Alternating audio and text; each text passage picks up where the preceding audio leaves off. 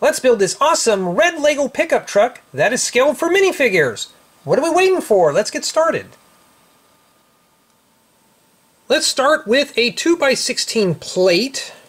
Now, let's take two 2x2 bearing plates. Set these on one end of the 2x16, followed by a 1x4 plate, a 6x6 plate,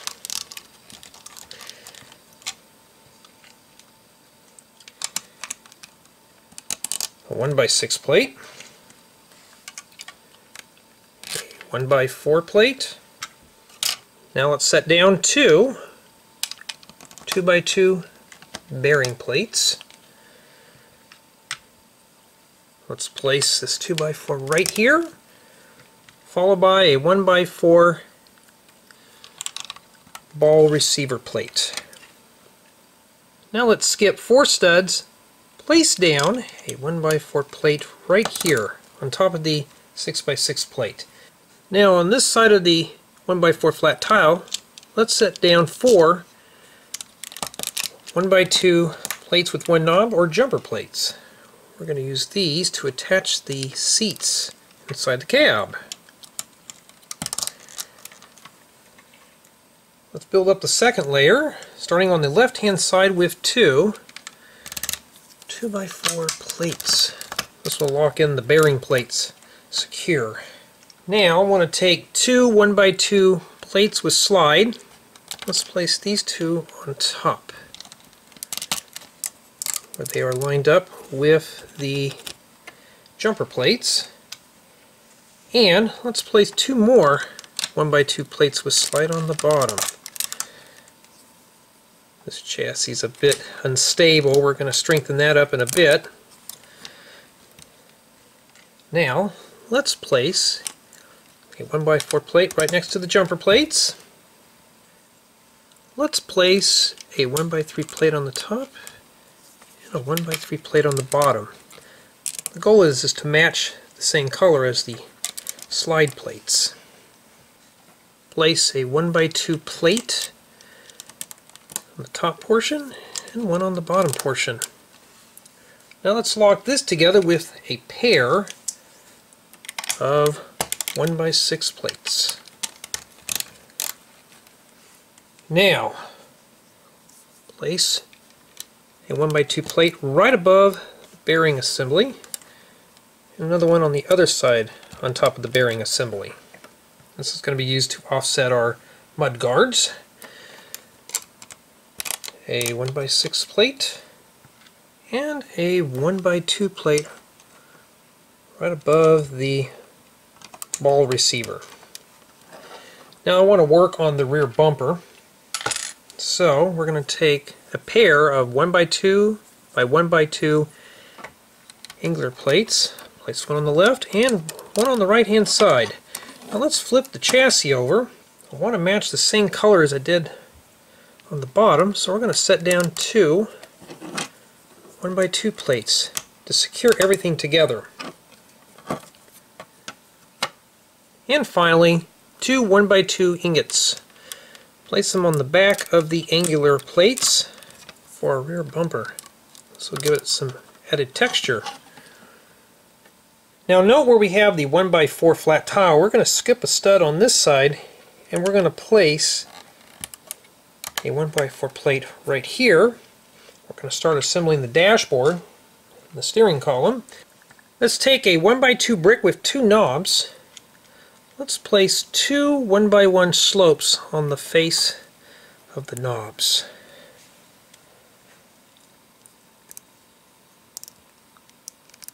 Make sure everything is lined up. Let's crown off the top with a 1x2 plate with slide, like so. Place this on the top portion of the 1x4 plate. Now let's take a 1x2 plate rocker bearing and plate assembly.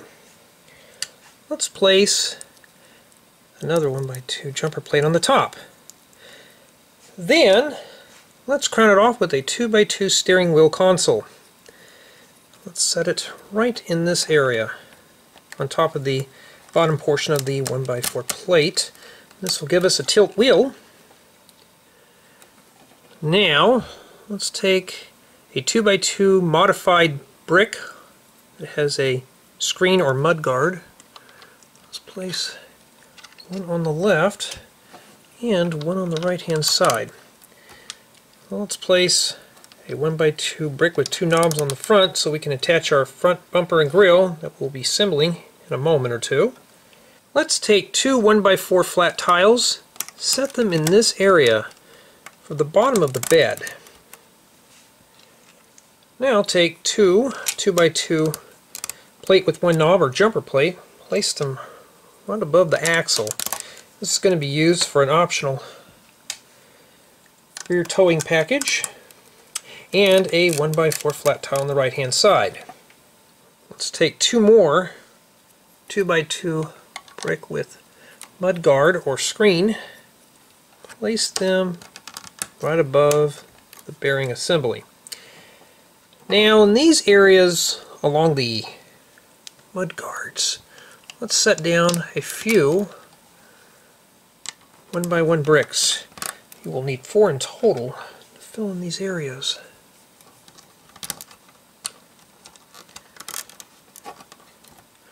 And to finish off these portions, take two one by four plate with bow to give it a nice rounded finish. Now let's start constructing the body. Let's take two one by two inverted 45 degree slopes. Let's place them right in this area. We're going to work our way back. So let's grab two one by three bricks, place them along the sides of the jumper plates. Set down two one by two by two corner bricks right here, followed by a one by two brick in this area. Now, let's continue on with two more 1x2 45 degree inverted slope bricks right here. So we can wrap around the mud guards. Two more 1x2 inverted 45 degree slope bricks right here. Now let's place a 1x4 brick right above the hitch assembly. Now in these two areas I want to add brake lights, so let's take a 1x1 angular brick and a 1x1 transparent red flat tile, place the tile on the face of the angular brick, and set this on the left hand side. Let's do the same on the right hand side with another angular brick and a 1x1 transparent red flat tile for the right hand side. And we have some nice brake lights. Let's set down a 1 by 10 plate right on the bottom where we are right next to the mud guard. Let's do the same thing on the top portion with another 1 by 10 plate. Now set down a 1 by 4 plate right here. In this area, we're going to set down a pair of 1 by 3 plates and a 1x6 plate on the back to strengthen up the rear as well as to lock in the lights.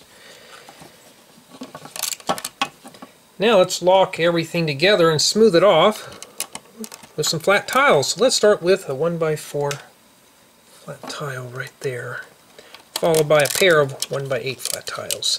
This will make the back of the pickup nice and finished off. It doesn't look so tacky with all those studs. Now let's place some seats inside the cab with two 2 by 2 by 2 seats. Place them on the back of the studs. On this side, let's place a 1 by 6 brick right behind the seats.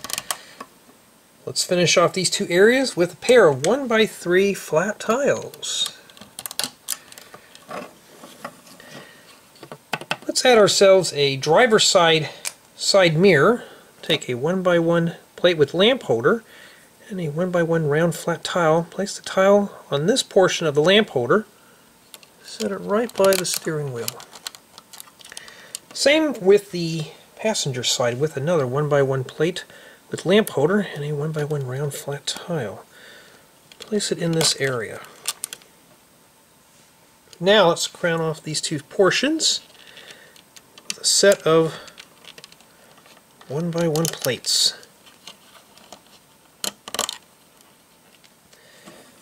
Let's work on the back portion of the cab. Grab two one by two transparent wall elements, place them in as shown.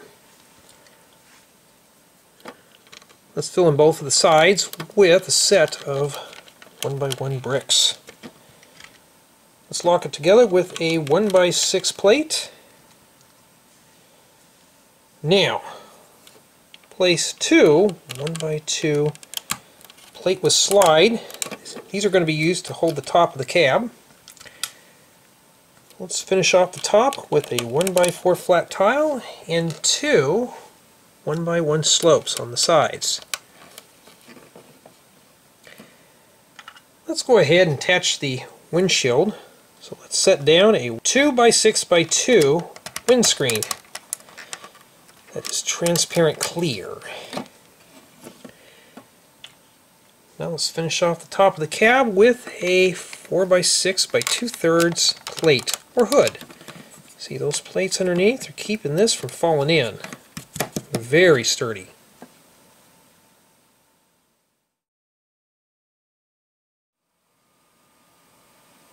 Let's begin the construction of the front bumper and grille starting with a pair of 2 by 2 by 2 thirds plate with two knobs. Let's set these side by side as shown. Let's lock them together with a 1 by 4 plate. Let's place a 1 by 6 plate on the bottom portion right on top of the 1 by 4 plate and a 1 by 2 plate on the top. On both sides of the 1x2 plate, let's set down two transparent orange 1x2 plates. These are going to be our turn signals. Let's lock all this together with a 2x4 plate and let's fill in these two areas with a set of 1x1 plates. I want to match the color for the bumper so it looks like it's wrapping around the vehicle. Now, place a 1x4 plate right on the bottom and two radiator grills on the top.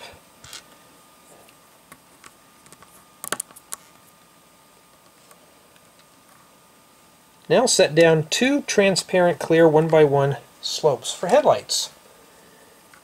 Set these right on top of the 1x2 transparent orange plates. Place a 1x4 flat tile and two one by one slopes on both ends to finish up the contour of the bumper. Flip the assembly over.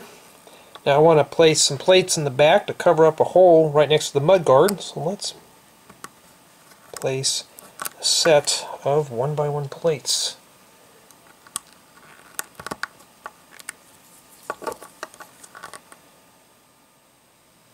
Now let's slide in the front bumper and grill and attach it to the 1x2 brick with two knobs. See, we covered up the holes on the sides. Now I want to lock everything together with a pair of 2x3 plates. Let's hide all this ugly mess with a 4x6 by 2 thirds plate or hood. Now I want to add some windshield wipers to this vehicle, so I'm going to take two small aerials. We're going to place them on top. Now don't place them down all the way because we're going to need to turn these slightly to where we're just touching the bottom portion of the windshield. Then we can press down. Let's do the same thing for the other windshield wiper. Just barely tack it down, turn it, Position it just right, and then press down firm.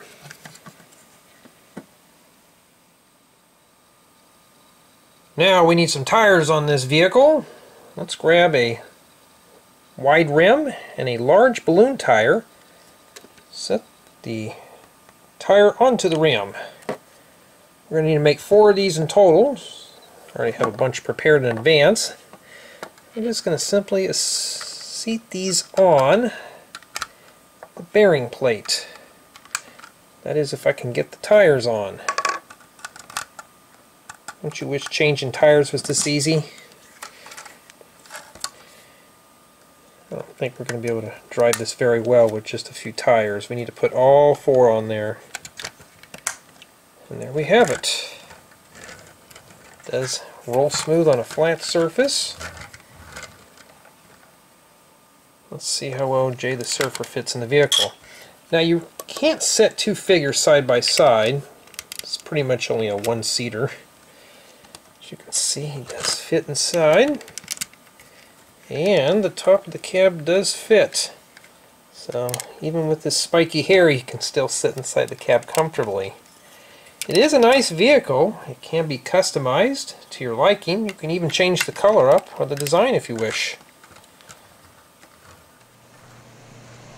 If you like this video, be sure to comment your thoughts and click that like button. To show your appreciation, be sure to subscribe to my channel and click on the notification bell to get notified of my latest LEGO video content. Check out my other LEGO related videos and visit my social media. Thank you for watching.